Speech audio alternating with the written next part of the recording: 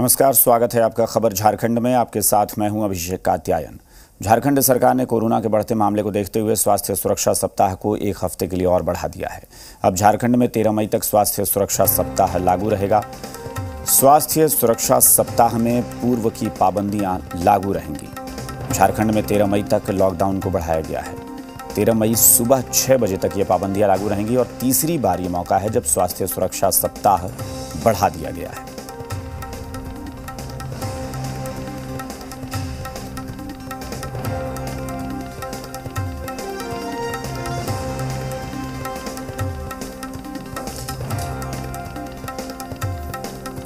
तेरह मई तक स्वास्थ्य सुरक्षा सप्ताह, यानी इसको लॉकडाउन आप कहिए, क्योंकि प्रदेश में लॉकडाउन को स्वास्थ्य सुरक्षा सप्ताह का नाम दिया गया है। तेरह मई तक इसे बढ़ाया गया है। और ये तीसरा मौका है, जब एक बार फिर से एक हफ़्ते के लिए इसे बढ़ाया गया है। तेरह मई सुबह छः बजे तक, और जो भी पाबंदियाँ अब तक पिछले दो हफ्तों में लागू रही हैं, वो इस बार भी लागू रहेंगी।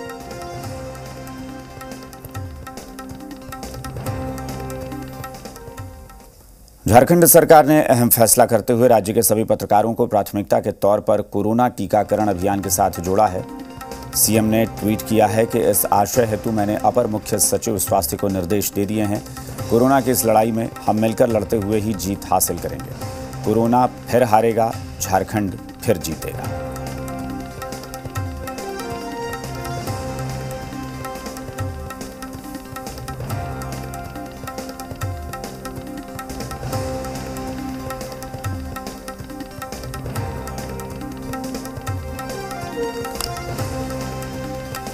राज्य के सभी पत्रकारों को वैक्सीनेशन में प्राथमिकता मिलेगी।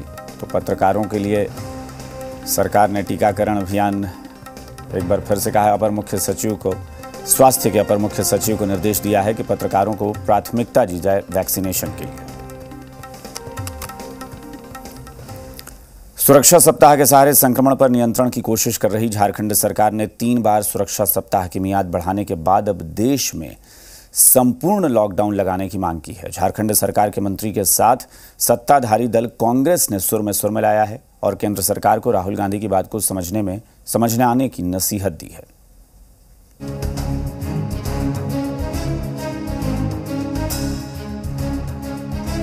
राजधानी रांची की सड़कों पर सीएम हेमंत सोरेन का काफिला देखकर आप समझ गए होंगे कि कोरोना संक्रमण की रफ्तार को रोकने के लिए सरकार एक्शन में है। और बुधवार को स्वास्थ्य सुरक्षा सप्ताह में लगाई गई पाबंदियों का सीएम हेमंत सोरेन ने खुद निरीक्षण किया। सीएम के साथ स्वास्थ्य मंत्री बन्ना गुप्ता भी मौजूद रहे। सरकार ने दो बजे के बाद दुकानों को बंद करने का निर्देश दिया है। साथ ही बेवजह घर से निकलने पर भी मनाही है।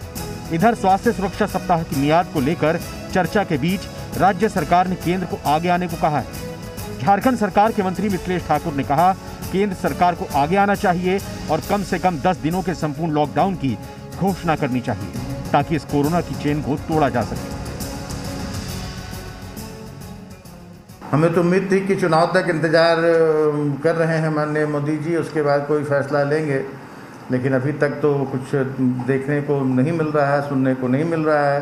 सर्वोच्च न्यायालय ने भी टिप्पणी की है कि पूर्ण लॉकडाउन पर विचार होना चाहिए। और हमारा, हमारी भी यही सोच है कि केंद्र सरकार को आगे आना चाहिए। सरकार के मंत्री ने केंद्र सरकार को आगे आने की अपील की तो झारखंड कांग्रेस के प्रदेश कार्यकारी अध्यक्ष राजेश ठाकुर ने भी केंद्र सरकार से मांग करते हुए कहा कि केंद्र सरकार को राहुल गांधी की बात को समझना चाहिए। ज़ाहिर है, कांग्रेस नेता राहुल गांधी ने दो दिन पहले ट्वीट कर, लॉकडाउन को ही आखिरी विकल्प बताया था।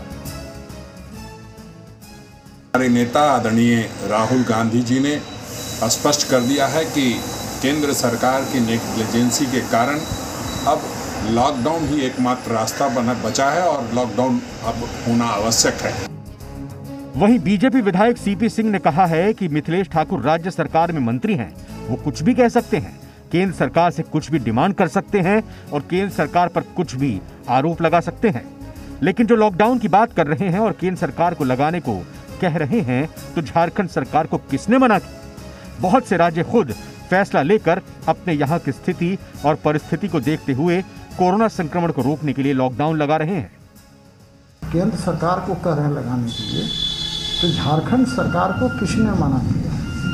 बहुत से राज्य सरकारें खुद निर्णय लेकर अपने यहाँ की स्थिति और परिस्थिति को देखते हुए कोरोना संक्रमण को रोकने के लिए लॉकडाउन लगा रही है कर्फ्यू लगा रही है। ज़ाहिर है, कोरोना संक्रमण की चेन को तोड़ने के लिए कई सारी पाबंदियाँ लगाई गई हैं, लेकिन संक्रमण का खतरा अब भी बढ़ता ही जा रहा है।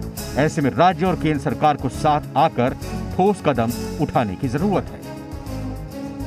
Kumar Chandan, G media, Ranchi.